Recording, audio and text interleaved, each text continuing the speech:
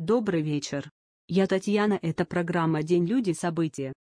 Сегодня мы говорим о событии 13 июля. 25 сентября 1881 года русское правительство утвердило основные условия устройства и эксплуатации городских телефонных сообщений в России. Первый контракт был заключен 1 ноября 1881 года между Министерством внутренних дел, в ведении которого находились средства связи, с одной стороны, и частным предпринимателем, инженером фон Барановым, с другой. Однако строить сеть фон Баранов не захотел, а продал свои права международной компании телефонов Бела. Таким образом, компания Бела на многие годы стала монополистом в эксплуатации телефонных станций в крупных российских городах. 3 июля 1882 года начали работу первые телефонные станции в Петербурге, Москве, Одессе и Риге.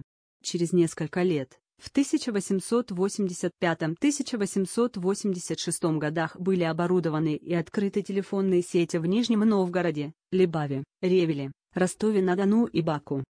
Вам понравилось наше видео? Ставьте лайки, подписывайтесь на наш канал.